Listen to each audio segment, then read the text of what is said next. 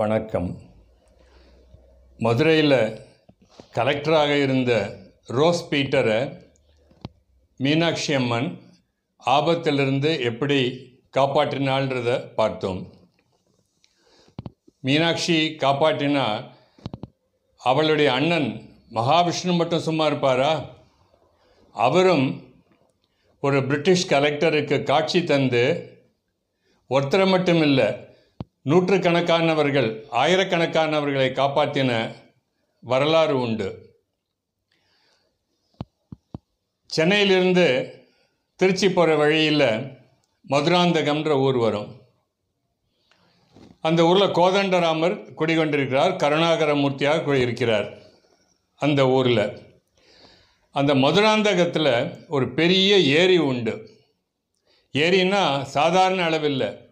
அதனுடைய விஸ்தீரணம் முப்பத்தஞ்சு square kilometre முப்பத்தஞ்சு சதுர கிலோமீட்டர் ஆழம் மூன்று ஆட்களுக்கு மேலே இருக்கக்கூடியதான அவ்வளவு ஆழம் இருபத்தி ரெண்டு இருபத்தி மூணு அடி ஆழம். அப்படின்னாக்க கற்பனை பண்ணி பார்த்துக்கலாம் அது எவ்வளவு தண்ணி இருக்கும்னு. தண்ணி நிரம்பி இருக்கிற காலத்தில் அது பார்த்தா ஒரு கடல் மாதிரி இருக்கும். அவ்வளவு தண்ணி இருக்கும். அப்படிப்பட்ட ஏரி இருக்கிற ஊரில் பக்கத்தில் கோதண்டராமர் கோவில். கருணாகரமூர்த்தின்றது இருந்த உற்சவ மூர்த்தி அங்கே அங்கே ராமரும் உண்டு. ஆயிரத்தி எழுநூற்றி தொண்ணூற்றி அஞ்சுலேருந்து ஆயிரத்தி எழுநூற்றி தொண்ணூற்றி ஒம்பது வரையிலையும் அந்த செங்கல்பட்டு டிஸ்ட்ரிக்ட் ஜில்லாவுக்கு கலெக்டராக இருந்தார் கர்னல் லயனல் பிளேஸ் அப்படிங்கிறவர். அவருக்கு மக்களுக்கு நல்லது செய்யணுன்ற எண்ணம் நிறையா உண்டு. அந்த பகுதிகளில் நிறையா செய்திருக்கிறார். ஒரு சமயம் நல்ல மழை பெய்து அந்த ஏரி நிரம்பி விட்டது. அந்த ஏரி நிரம்பித்துனா எல்லாருக்கும் பயம். இப்போ சமீபத்தில் சென்னையில் மழை வந்த பொழுது அந்த ஏரி ரொம்பிடுத்தான்றது தான் நிறையா பேர் பார்த்துட்டு இருந்தாங்க ஏன்னா அது வழிஞ்சது ஓவர்ஃப்ளோ ஆரம்பிச்சது ப்ரீச் ஆகிடுச்சு உடஞ்சதுன்னாக்க செங்கல்பட்டு மட்டும் இல்லை சென்னைக்கெல்லாம் கூட பாதிப்பு ஏற்படும். அவ்வளவு பெரிய ஏரி அது. அந்த ஏரி இந்த முழுவதுமாக நிரம்பி இருந்தது. மழையோ கொட்டு கொட்டுன்னு கொட்டி கொண்டிருக்கிறது. இவருக்கு தாங்க முடியவில்லை. அந்த லைனல் பிளேஸ் கலெக்டர் அந்த நேர தானே அங்கே போகிறாரு எப்படியாவது அதை பாதுகாப்பை உறுதி செய்யணும்னு சுற்றி பார்க்குறாரு. ரெண்டு இடம் அதனுடைய கரையில் உடச்சிக்கக்கூடிய நிலைமையில் இருக்குது உடனே கல்லை போட்டு தடுத்தாகணும். எங்கன்னு பக்கத்தில் தேடி பார்க்குறாரு. அந்த ராமர் கோவிலில் கல்லுகள் நிறையா கொட்டி கிடக்கு. உடனே கிடுகிடுன்னு போகிறாரு அங்கே இருக்கிறவாள்லாம் கூப்பிடுறாரு. இந்த கல்லெல்லாம் எடுத்து கொண்டு போய் போடணும். அந்த இல்லைன்னா அந்த வி- விரிசல் பெருசாகி போயிடக்கூடிய வாய்ப்புகள்லாம் உண்டு. நீ உங்களுக்கெல்லாம் ஆபத்துன்னு. அந்த ஜனங்கள் சொல்கிறார்கள் இது வந்து ஜனகவல்லி தாயார். பிராட்டிக்கு கோவில் கட்டுறதுக்காக வாங்கி போட்டிருக்கிற கொண்டு வந்து போட்டிருக்கிற கற்கள் இப்போ கொஞ்சம் பணத்தட்டுப்பாடு அதனால் அந்த வேலை தடங்கி நிற்கிறது. கூடிய சீக்கிரம் நடந்துடும். அதனால் இந்த கல்லை எடுக்காதீர்கள் அப்படின்னு சொல்கிறார் அவர்கிட்ட. ஆனால் அவருக்கு பொறுக்கல்ல. எப்படியாவது அடைச்சாகணுமே. அதனால் எடுத்துன்னு போனால் என்னன்னு கேட்குறாரு அவர்கள் ஒத்துக்கல்ல. அப்படின்னா அவங்க ராமர் காப்பாற்றுவாரா இதை வெள்ளம் வந்தாக்காங்கிறார் மக்கள் சொல்கிற அவர் நீங்கள் நம்பிக்கையோடு இருந்தாக்க கட்டாயமாக காப்பாற்றுவார்னு அவர் சரின்ட்டுன்னு ஒன்றும் சொல்லலை. போயிடுறாரு திரும்பி. அன்னைக்கு ராத்திரி அவருக்கு தாங்கல்ல மழை அப்படி அடிக்கிறது. தானே போய் அந்த கடையில் போய் கேம்ப் பண்ணிட்டு இருக்காரு நடுராத்திரி இடி மின்னலுமா இருக்குது அவர் என்ன நடக்கிறது பார்க்கலாம் அந்த இடம்னு பார்க்கறதுக்காக போனார். ஒரு ஆச்சரியம். தூரக்க இரண்டு பேர்கள். நல்ல ஆஜானு பாகவா நல்ல உருண்டு திரண்ட புயங்களோட நல்ல ஆகிருதியோட இரண்டு பேர்கள் நின்றுருக்கிறார்கள். கையில் வில்லு அம்பு ரெண்டு பேருக்கும். இவருக்கு ஆச்சரியம். எப்படா இந்த கொற்ற மழையில் வந்து ரெண்டு பேர் இப்படி தனியாக நிற்கிறா அதுவும் வில்லும் அம்போட அப்படின்னு நினைக்கிறாரு.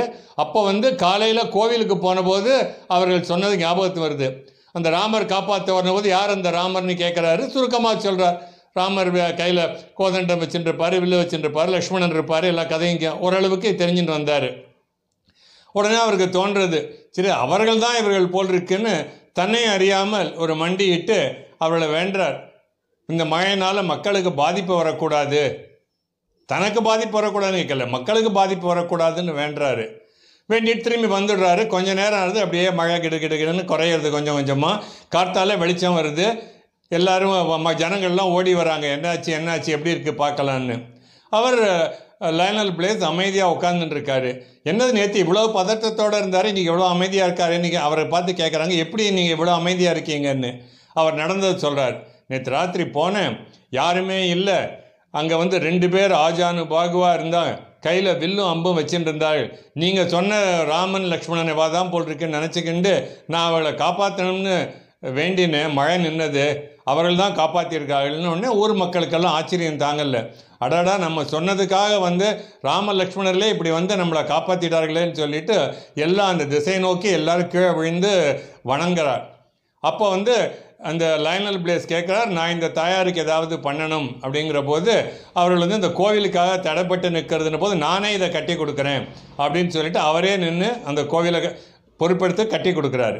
இது வந்து அந்த கோவிலினுடைய வரலாற்றில் இருக்குது இப்போவும் கோவிலில் எழுதி வைக்கப்பட்டிருக்கிறது. சுமார் இரநூறு இரநூத்தம்பது வருஷங்களுக்கு உள்ளதானே நடந்தது. அதனால் வம்ச வழியாக கேட்டவர்கள் இருக்கிறார்கள். அதெல்லாம் ரெக்கார்ட்லேயும் மு முழுக்க இருக்கிறது. இப்படி ராமர் லக்ஷ்மணருடன் வந்து ஆயிரக்கணக்கான ஜனங்கள் ஒரு வெள்ள அபாயத்தில் மாட்டுக்கொள்ளப்படுவதிலிருந்து காப்பாற்றியிருக்கிறார்கள். இதில் மூணு விஷயம் கவனிக்கணும். முதல்ல ரோஸ் பீட்டரை மீனாட்சி காப்பாற்றினது அவர் மீனாட்சியிடம் அளவில்லாத அன்பு கொண்டிருந்தார். தினமும் கோயிலுக்கு போகிறபோது வரபோது நமஸ்காரம் பண்ணிட்டு போவார் வணங்கிட்டு போவார் குதிரையிலேருந்து இறங்கி போவார். அவரை காப்பாற்றினார் ஆனால் இங்கே வந்துட்டு லயனல் பிளேஸ் ராமர் யாருன்னு தெரியாது. அவருக்கு வந்துட்டு அந்த தொழிலினம் வணங்குன்றது தெரியாது.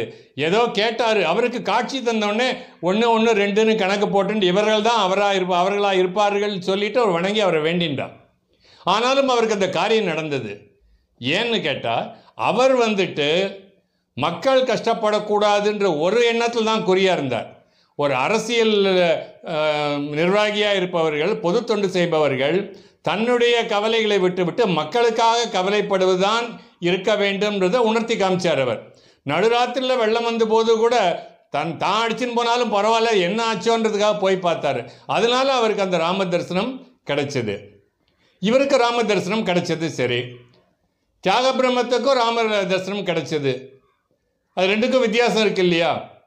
தியாக பிரம்மம் ராம தரிசனத்தை அடைந்தார். லயனல் பிளேஸுக்கு ராம தரிசனம் கிடைத்தது. அடையிறதுனா ஒரு ஊருக்கு அடையிறோம்னாக்க போய் சேர்ந்து போய் சேர்ந்து அடையிறோம்னாக்க நம்ம அதில் ட்ராவல் பண்ணி போய் சேர்றோம்.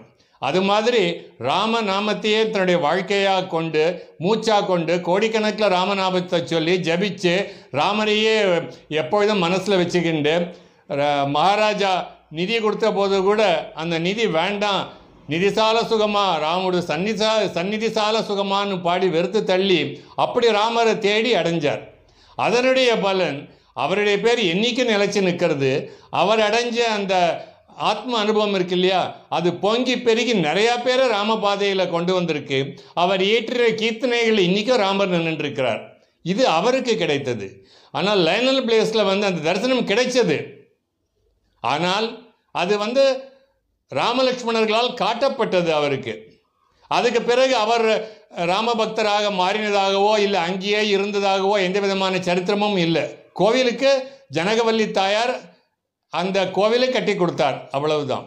அதாவது தான் ரட்சிக்கிறேன் அப்படின்றத ராமர் காட்டுவதற்கு லயனல் பிளேஸை ஒரு கருவியாக பயன்படுத்தி கொண்டார். அவ்வளவுதான்.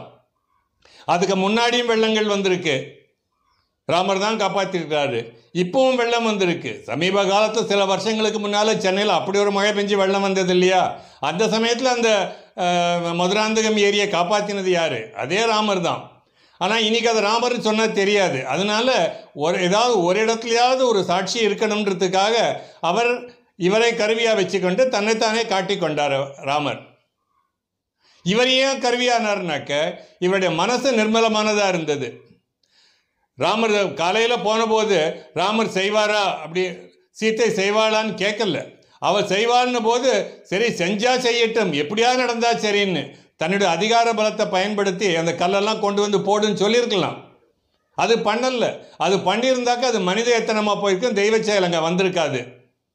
அதனால இவர் மனசு நிர்விகல்பமாக இருந்த காலத்தினால காரணத்தினால ராமர் இவரை கருவியாக பயன்படுத்தி கொண்டார்.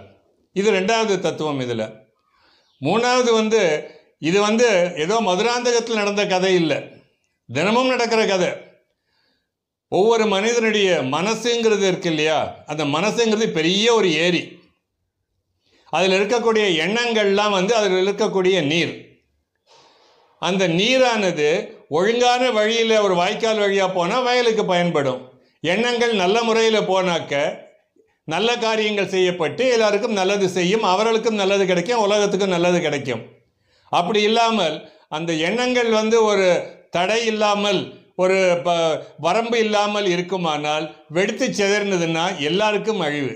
அதனால் அந்த அழிவு வராமல் எண்ணங்களை வழிப்படுத்துவதற்கு ஒருத்தர் வேணும். அந்த ஒருத்தர் யாருன்னா அவர் தான் ராமன். அந்த ராமருங்கிறவர் இதோ அன்னைக்கு இருந்தால் அன்னைக்கு இல்லை. ராமருங்கிறவர் ராம நாமாவில் இருக்கார். இப்போ இருக்கா.